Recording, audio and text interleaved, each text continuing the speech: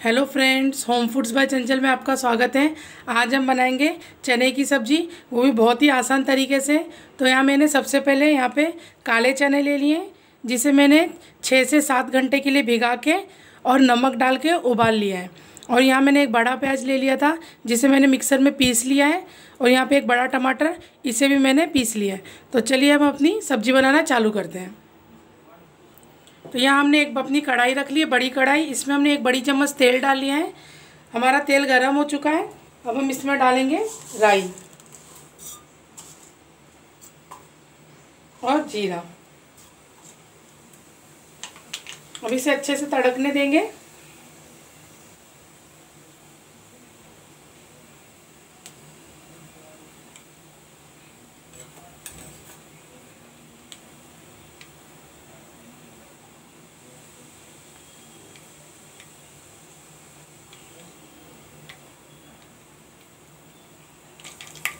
हमारे राई और जीरा भून चुके हैं, अब हम इसमें डालेंगे अपनी प्याज जो हमने पीस के रखी थी।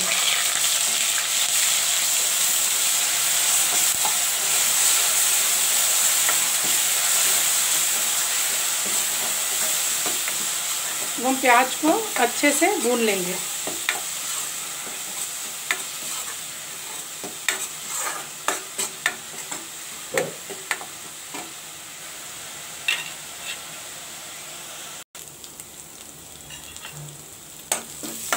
हमारी प्याज भून चुकी है। अब हम इसमें डालेंगे अपना जो हमने पिसा हुआ टमाटर किया था।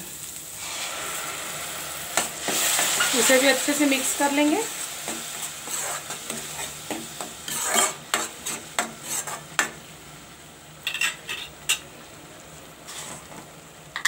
अब हम इसमें डालेंगे नमक अपने स्वाद के अनुसार।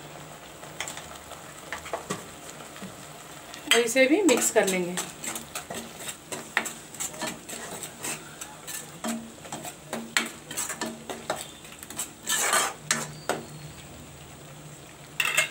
अब हम इसमें डालेंगे अपने कुछ मसाले। थोड़ी सी हल्दी। लाल मिर्च पाउडर। लाल मिर्च पाउडर आप अपने टेस्ट के अकॉर्डिंग ले सकते हैं। आपको कितना तीखा खाना पसंद है। और धनिया पाउडर। और गरम मसाला पाउडर। और यहाँ हम डालेंगे थोड़ा सा पिसा हुआ जीरे का पाउडर। और इसे हम अच्छे से मिक्स कर लेंगे।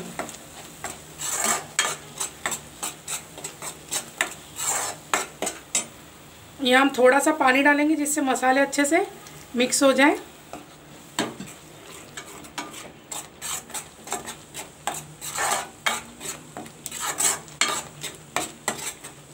अब हम इन मसालों को ढक के अच्छे से तेल छोड़ने तक पका लेंगे। हमारे मसालों ने तेल छोड़ना चालू कर दिया है। अब हम इसे अच्छे से मिक्स कर लेंगे। और हम अब इसमें डालेंगे अपने चने। इसे भी अच्छे से मिक्स कर लेंगे। आप चाहे तो इसे ऐसे भी अच्छे से पका के खा सकते हैं। थोड़ा दस मिनट तक इसे पकने दीजिए। ऐसी सूखी भी अच्छी लगती है। लेकिन मैं यहाँ इसमें थोड़ा पानी ऐड करूँगी।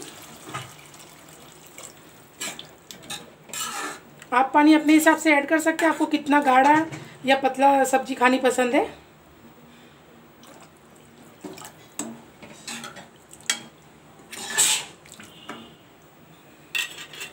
अब इसे ढक के हम 10 मिनट तक पका लेंगे। हमारी सब्ज़ी बन के तैयार है। अब हम इसमें डालेंगे बारीक कटा हुआ धनिया। और इसे मिक्स कर लेंगे।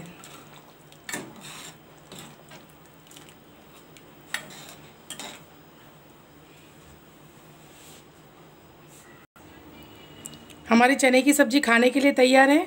आप देख सकते हैं कितनी टेस्टी दिख रही है। इसे आप चावल के साथ, रोटी के साथ खाइए। बहुत ही टेस्टी लगती है। एक बार ज़रूर ट्राई कीजिएगा। और मेरी वीडियो पूरी देखने के लिए थैंक यू और मेरे चैनल होम फूड्स बाय चंचल को लाइक सब्सक्राइब और ज़्यादा से ज़्यादा शेयर कीजिएगा और बेल के बटन को दबाना ना भूलिएगा. Thank you